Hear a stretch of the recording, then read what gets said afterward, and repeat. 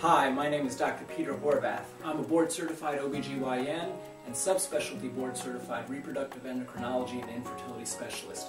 I've been practicing in Albany, New York for the last 22 years and I'm a clinical associate professor of OBGYN at the Albany Medical College and at the Albany Medical Center hospitals. Now, why are all those credentials important to you?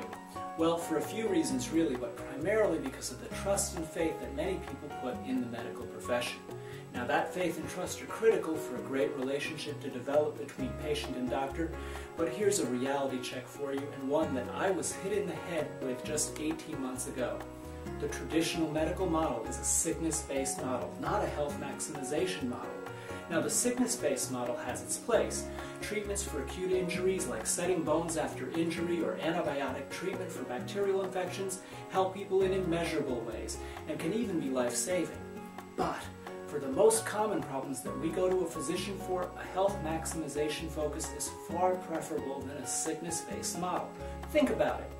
When we go to the doctor for common problems like high blood pressure, high cholesterol, diabetes, allergies, chronic pain or inflammation, skin conditions, or digestive problems, we have some tests done to find out what's wrong, and then we're typically offered a pill and or a procedure to treat the problem.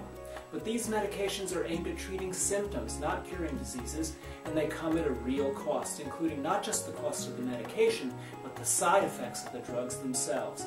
Most of us know intuitively that trying to stay healthy is smarter than taking a pill once we are sick.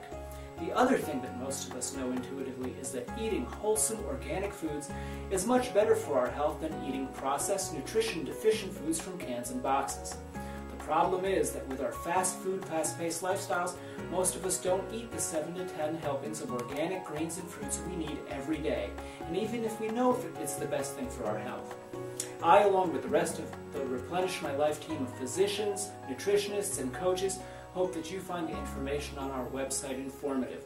I hope that while you browse, you can imagine what it would be like to have a body that's working at its peak efficiency, is at its ideal weight, and one that decreases your chances of ever having to rely on the sickness-based model of medicine.